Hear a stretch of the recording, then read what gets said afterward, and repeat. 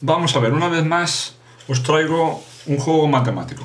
La realización del juego va de la siguiente manera. Eh, en primer lugar, a veces por la complejidad, no es que sea difícil de realizar este juego, pero por la complejidad de entendimiento es conveniente que se realice el juego. Yo os lo hago a modo de efecto. Obviamente no tendré los espectadores necesarios, pero es simplemente para que veáis cómo funciona. De una baraja necesitáis que o, lo que podéis hacer cuando hayáis iniciado algún juego, cuando estéis a medio de realizar las rutinas, eh, le vais a pedir a un espectador que os mezcle la baraja, ¿de acuerdo?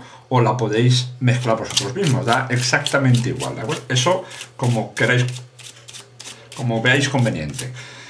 Lo importante es que el público vea y detecte que la baraja está mezclada. Luego os explicaré qué procedimientos utilizar. Bueno, hecho esto, teniendo ya una baraja mezclada, o si venís de un juego anterior que ya se haya mezclado y queda determinada así, pues no hay ningún problema.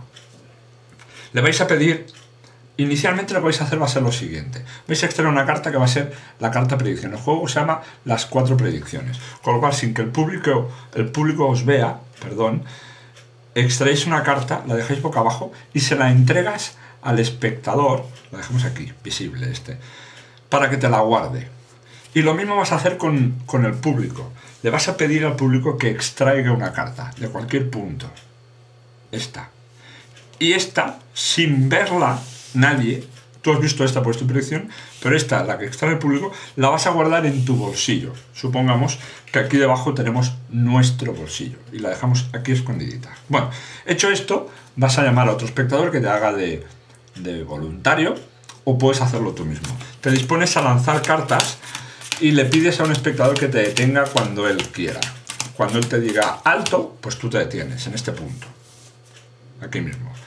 Volteas las barajas y le pides a este mismo o cualquier otro espectador que te elija un montón. Supongamos que te elige este y otro se queda este. Pues bien, cada uno de los espectadores tendrá un montón.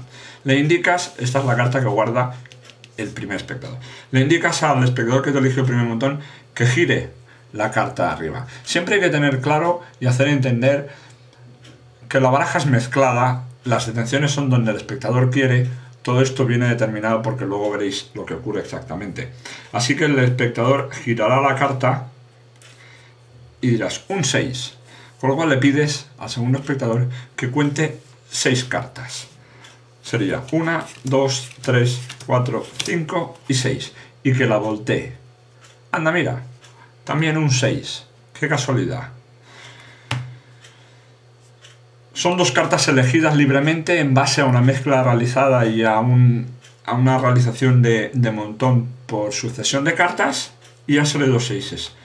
Pero entonces le pides a tu espectador, al que tiene tu carta, esta, que le dé la vuelta a la predicción que tú hiciste. Y podrá comprobar que es otro 6 para terminar extrayendo del bolsillo la carta que eligió libremente el otro espectador para que vea que exactamente es otro 6. Hemos realizado cuatro predicciones. ¿Cómo se lleva a cabo dicho juego? Bien, de la siguiente manera. En primer lugar, necesitas, si quieres tener la baraja preparada y realizar una mezcla falsa, lo puedes hacer. ¿De qué manera? Bueno, un 6 quedará perdido en la baraja. El otro lo tendrás guardado tú en el bolsillo. Porque lo que vas a hacer va a ser un cambio. Esta es la carta que inicialmente hemos guardado. Y tú tendrás un 6 guardado en el bolsillo. Eso nadie lo sabe, no tiene importancia. Tú estás realizando una serie de juegos, no importa que la baraja esté incompleta, pero nunca nadie, y eso todos lo sabemos, se molesta en comprobar el número de naipes que tiene una baraja. Procura no realizar juegos matemáticos que requieran las 52 cartas porque no te saldría ni. Y el otro de los 6 estará en primera posición, en top, viendo las cartas de dorso, y la otra en sexta posición, 3, 4, 5, 6, desde abajo. Con lo cual, cuando realizas la mezcla en primer lugar, pela la primera carta y echa las restantes encima. Y cuando vayas a llegar al final de las cartas, las pelas todas, una a una, para asegurarte que va a quedar en la misma posición la carta que teníamos aquí. 1, 2, 3, 4... Vaya, ahora lo he hecho mal, ¿veis? Lo hago despacito y me sale mal. Bueno, sexta posición. Para volver a mezclar de nuevo, pelando en esta ocasión no una, sino seis cartas una a una, ¿de acuerdo? Y cuando hayáis superado la carta que queda en sexta posición, echáis cartas para no pelarlas todas, claro está, y cuando llegues al final, las cuatro o cinco últimas cartas también las pelas una a una, para que tu seis vuelva de nuevo. Con lo cual hemos dado la sensación de mezcla. También puedes realizar cortes o mezclas falsas, da exactamente igual, como quieras más conveniente, da lo mismo. Bueno, entonces aquí te dispones a echar cartas. En había algún juego de mi canal que también se usaba este método. Pero aquí lo que conviene es de que eches las cartas rápidamente para que el 6 pase y, y, pase desapercibido. Y te pones a echar cartas a cierta velocidad. Y entonces luego ralentizas un poco y le dices a un espectador, cuando quieras me paro. Y tú te dispones a echar. Él hará exactamente eso te paras. Perdón, me he olvidado, cómo no, me parece que estoy corriendo demasiado. Que debemos, vamos a ver, primero extraer, perdón el lapsus, ¿eh?